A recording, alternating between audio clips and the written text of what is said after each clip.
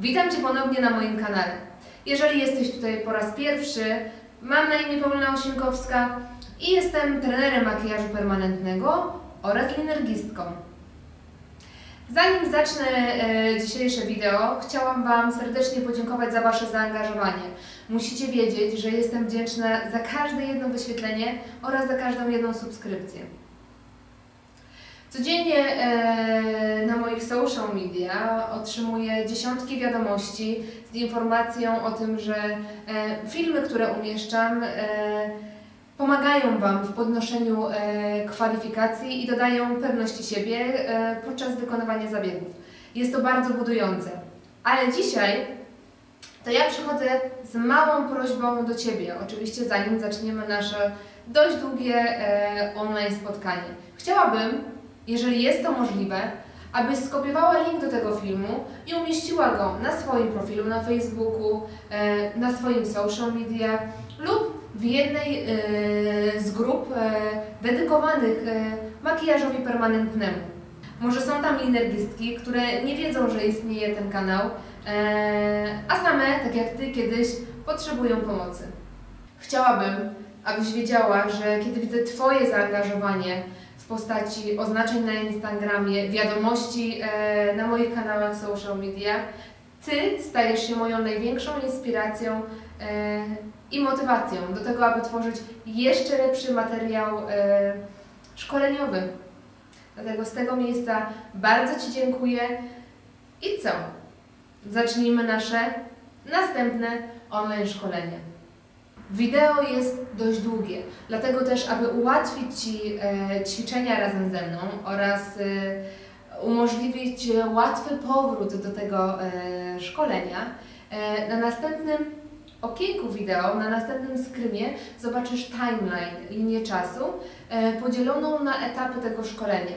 W ten sposób łatwiej będzie Ci przejść do etapu szkolenia, który właśnie Cię interesuje. Dzisiejsze spotkanie zaczniemy od poprawnego kształtu brwi na lateksie. Dokładnie tak.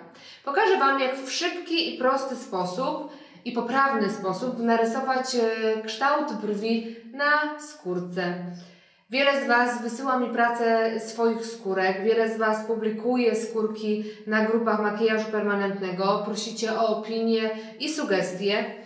Musicie pamiętać o tym, że poprawna pigmentacja zaczyna się od poprawnego rysunku. Nie tylko na klientce, również na lateksie.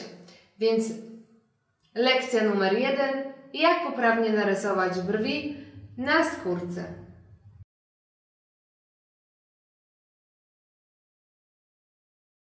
Zaczynamy rysowanie brwi od wyznaczenia początku brwi. Dzisiaj wyznaczymy sobie brew na 1,5 cm, więc jak widzimy po kolorze niebieskim, najwyższy punkt będzie na piątce i końcówka na 7 cm.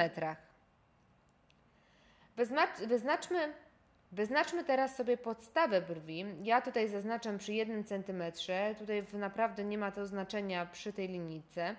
Końcówka nie może być niżej niż początek, więc delikatnie ją podniosłam o 2 mm do góry. Uniesiony łuk i łączymy prostą linią końcówkę z podstawą naszego łuku. Linia pamiętajmy, że ma być prosta. Tak? Jedyne zaokrąglenia będziemy miały w łuku i w pod łukiem. Czas na podstawę. Łuk łączymy, podstawę łuku łączymy z naszym początkiem, który wyznaczyłyśmy na samym początku. Poprawiamy linię, aby była prosta. Wyznaczam grubość brwi i następnie łączę mój punkt uniesienia z końcówką, pamiętając, że linia również ma być prosta. Jedna z czterech naszych prostych linii brwi.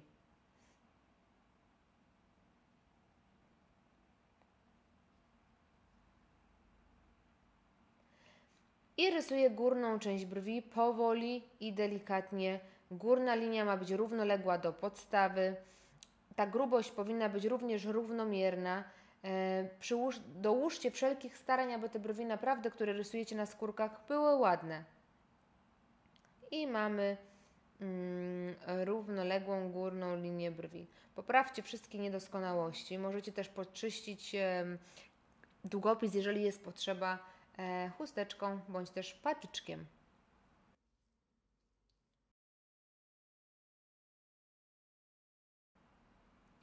Pokażę Wam teraz, dziewczyny, błędy, które najczęściej popełniane są na skórce. Zobaczcie, zaznaczyłam tutaj punkt A i B. Często staje się tak, że widzicie górną i dolną granicę swojego ruchu w momencie, kiedy zbyt mocno ściskacie e, urządzenie i igła w górnej i dolnej części ruchu jest w skórze. Pamiętajcie, że jest to niepoprawne. Starajcie się też kontrolować bardziej swoją pracę i nie pracujcie chaotycznie.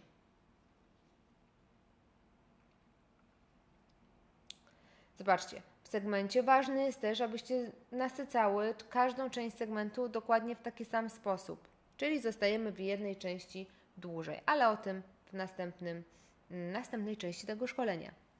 Przejdźmy do kolejnej skórki. Ta skórka może wyglądać troszeczkę jak e, spadające gwiazdy, ale niestety nie jest to tak miły widok. Zobaczcie, że każdy z tych ruchów ma mocniejszą górę mm, w każdym segmencie, mocniej zaznaczoną górę, tak? Staje się tak, kiedy naprawdę mocno ściskacie urządzenie, małego palca tak naprawdę nie ma, y, jak również przestrzeni pomiędzy kciukiem a palcem wskazującym. Ja nazywam zawsze to takim kopaniem, czyli haczeniem o górną część segmentu. Jest to niepoprawne. Zwróćcie uwagę, że osoba tutaj popełniała ten błąd tyle samo razy, i przyzwyczaiła do tego rękę, także kontrolujcie swoje błędy. Kolejna skórka, zwróćcie uwagę, że mimo tego, że gradient jest dość do zaakceptowania, delikatne początki, mm, proporcje brwi są całkowicie, wszystkie brwi są, proporcje są zaburzone. Pamiętajcie, że rysunek wstępny powinien być poprawny, żeby efekt finalny Was satysfakcjonował i żeby też był ładny. W na tej skórce cieniowanie, mimo tego, że jest płytkie i delikatnie, widać znowu, że jest widoczny początek i koniec tego ruchu. Segment, nie bójcie się wyjść delikatnie poza Wasz e, ruch, czyli ten kwadrat, w którym pigmentujecie, zarówno na górze, jak i na dole. One Wam się w późniejszym czasie zazębią. Kolejna skórka i to, co najbardziej, bądź też najczęściej widzę u Was na e, Waszych profilach, to ćwiczenia na skórce, gdzie górny bądź też dolny kontur jest mocniej zaznaczony. Pamiętajcie, aby unikać tego typu e, efektu, e, starajcie się, aby ten kontur był zblendowany z pozostałą częścią brwi i zbudujcie gradient, tylko równomierny gradient, tak aby e, dół był troszeczkę mocniejszy, a góra jaśniejsza. Tylko wszystko równomiernie.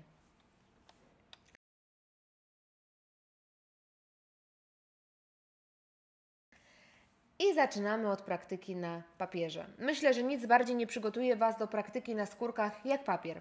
Weźcie ołówek, natemperujcie go oczywiście i delikatnymi ruchami zacznijcie ćwiczyć ruch do siebie.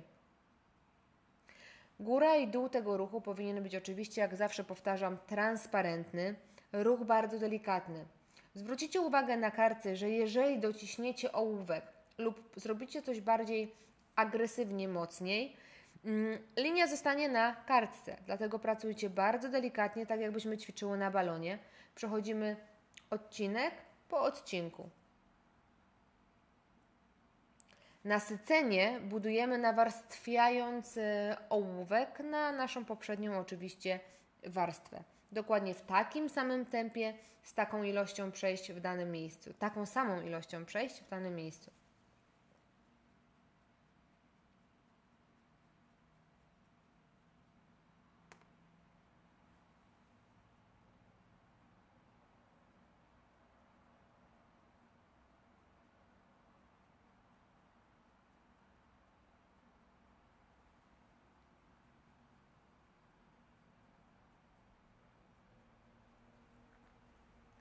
I teraz najczęściej zadawane pytanie, albo odpowiedź na najczęściej zadawane pytanie, jak przejść do kolejnego segmentu, żeby nie stworzyć zebry.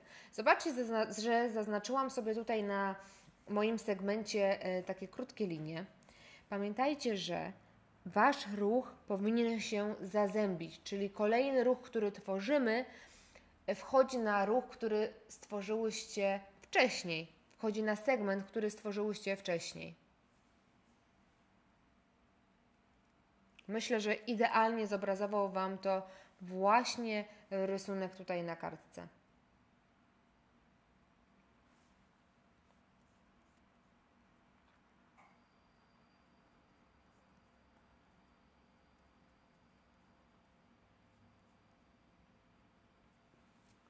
Poćwiczcie, jeżeli macie problem z ruchem do siebie z, lub z uzyskaniem e, delikatnego gradientu, delikatnego cienia, poświęćcie troszkę uwagi albo poświęćcie troszeczkę swojego czasu na ćwiczenia właśnie na kartce papieru, zanim przejdziecie do lateksu.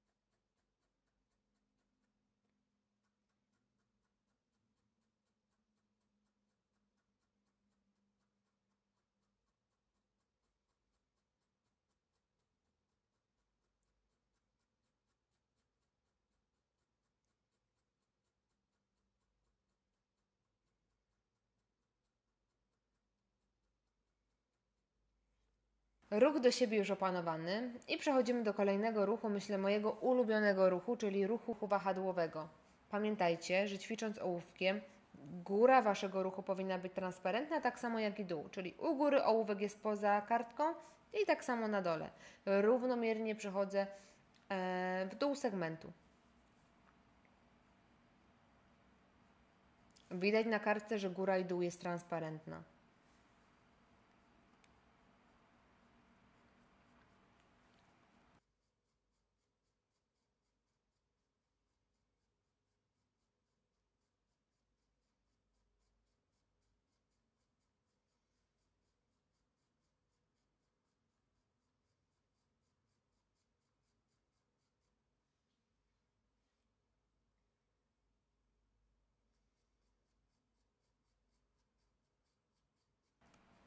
I tak samo jak w ruchu poprzednim, łączymy dwa segmenty, nawarstwiając je na siebie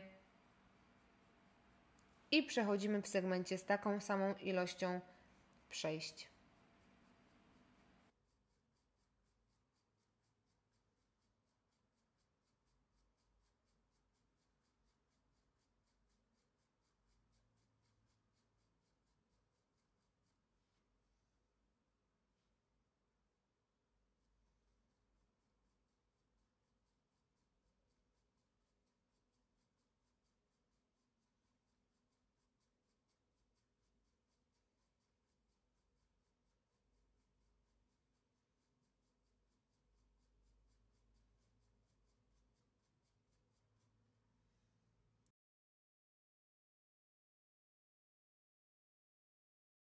Czas przejść do skórki.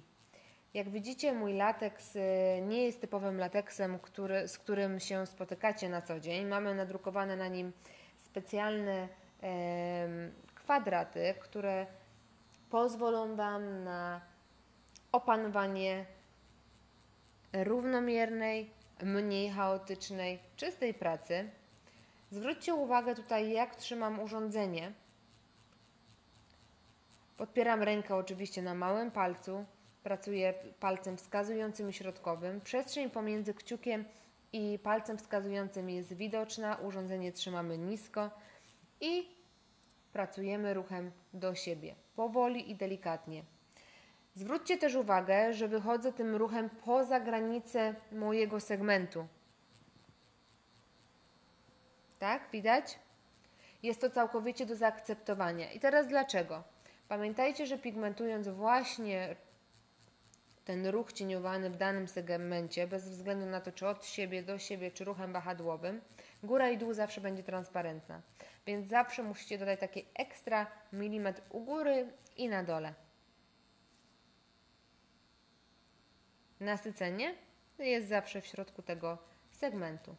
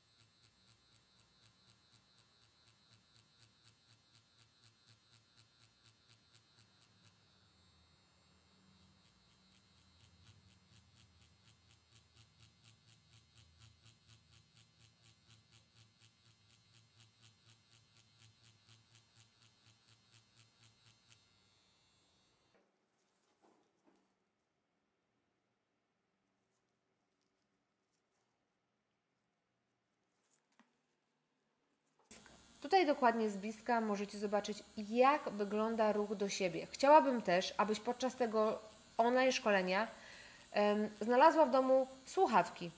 Um, wierzę, że wsłuchanie się w dźwięk urządzenia oraz wsłuchanie się w dźwięk e, danego ruchu pomoże Ci dopracować Twój ruch i Twój warsztat.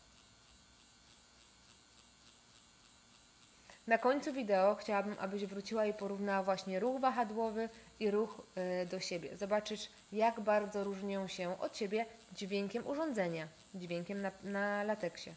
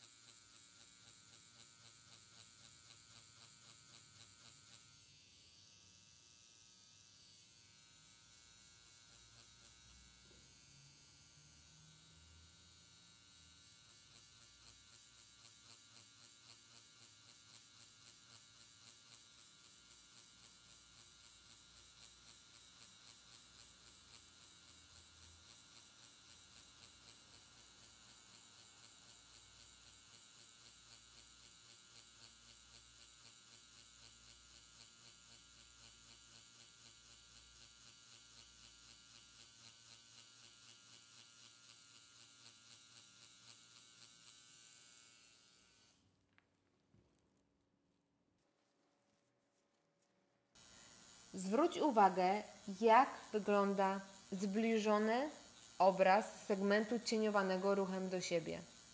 Kropeczki, które stawia nam igła, czyli te kropeczki, które tworzą nam piękny obraz cieniowania, są rozstawione dokładnie w takiej samej odległości. Moja praca jest równomierna i jednostajna.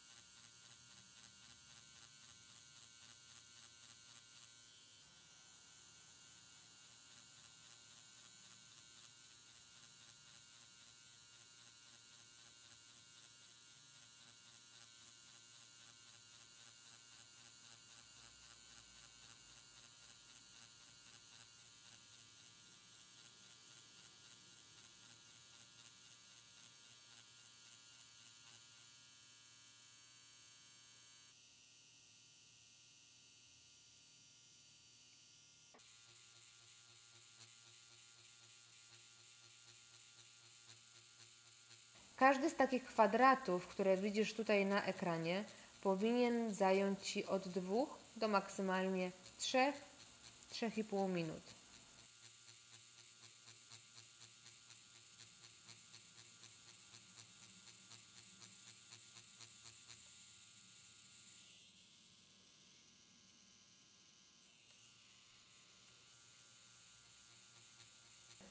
Chciałabym, abyś poświęciła następne pół godziny na ćwiczenie ruchu do siebie. Włóż słuchawki, wsłuchaj się w urządzenie i ćwicz razem ze mną.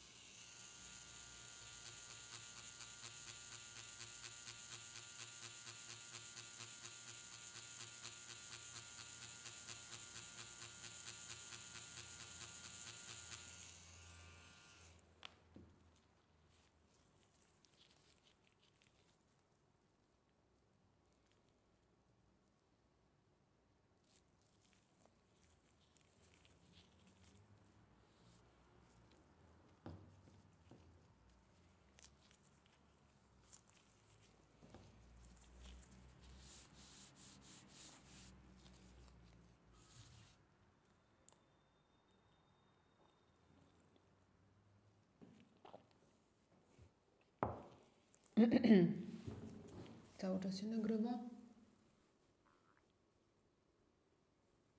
Cały czas się nagrywa.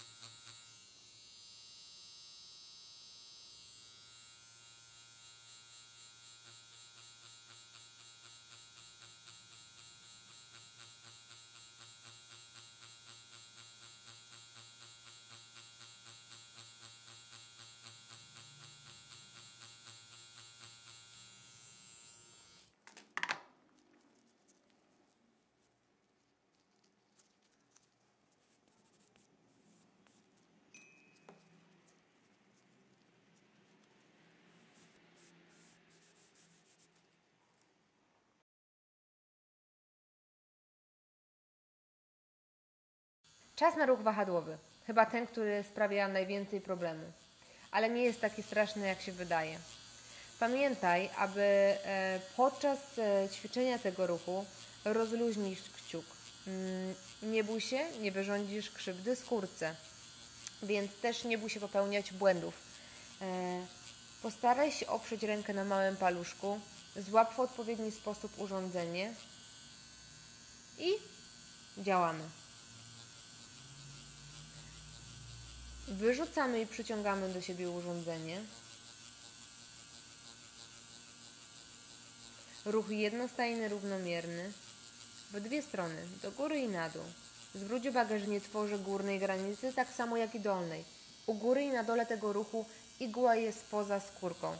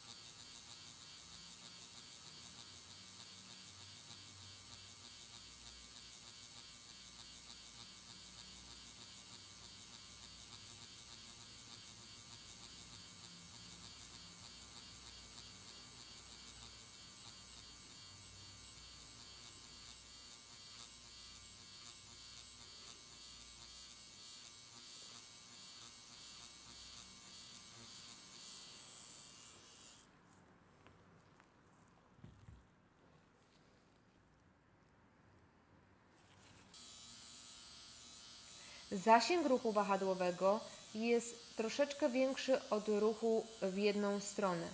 Nie martw się, zwróć uwagę, jak dany segment wygląda po przetarciu.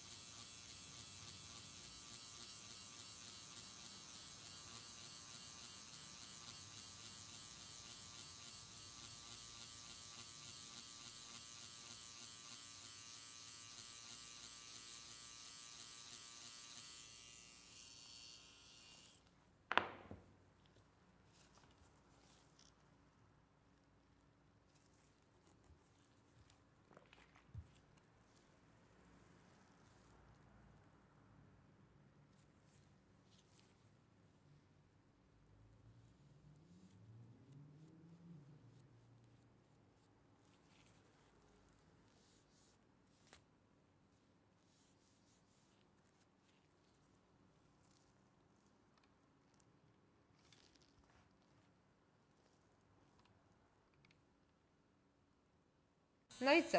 Przyszedł czas, abyśmy razem poćwiczyły mm, ruch wahadłowy. Zarezerwuj na niego ponad pół godziny.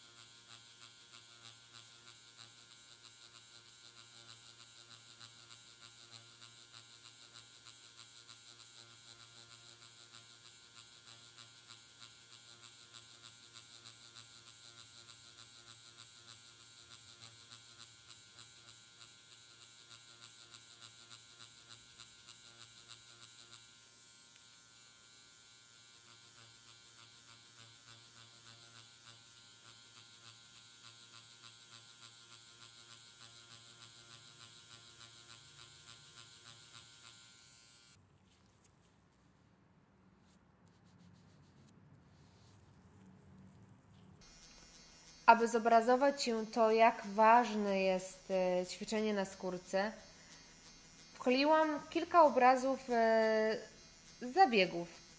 Zobacz, że prędkość mojej ręki, jednostajna praca, niechaotyczna praca, przejście w segmencie ruchem wahadłowym jest dokładnie takie samo, jakie ćwiczyłyśmy jeszcze chwilkę temu. Uwierz mi, że jeżeli poświęcisz maksimum swojego czasu na doskonalenie ruchu cieniowania i zaufasz mi chociaż troszeczkę, zbliżysz się do umiejętności tworzenia perfekcyjnych brwi. Jest to naprawdę darmowe kompendium wiedzy, Twój mocny fundament w branży makijażu permanentnego. Pamiętaj, że zawsze możesz wrócić do każdego segmentu z tego filmu, do każdego ćwiczenia umieszczonego w tym filmie. I skoncentruj się na tym, co sprawia Ci najwięcej problemu.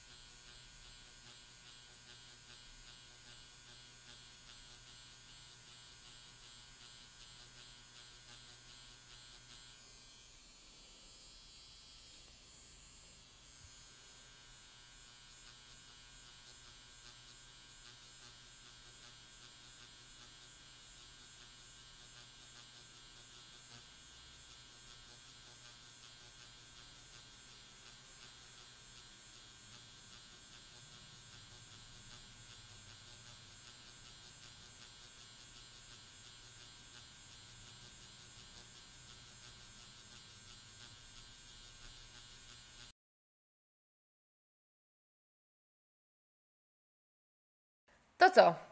Teraz czas na skórkę i na naszą brew. Moja skórka jest już po pierwszym przejściu, ale tylko dlatego, że nic nie może być perfekcyjne. E, niestety pierwsze przejście nie nagrało się e, tak, jakbym tego chciała. E, nagranie nie było ostre, dlatego zaczynam brew od drugiego przejścia, ale Chcę, żebyś wiedziała, albo proszę Cię o to, abyś pigmentowała pierwszą brew, dzieląc ją również na segmenty. Dokładnie w taki sam sposób, jak pigmentuje drugie przejście. I ponownie, nie śpiesz się i poświęć swojej brwi maksymalną ilość czasu. Jeżeli nie pamiętasz, jak narysować brew, wróć do pierwszego segmentu tego wideo.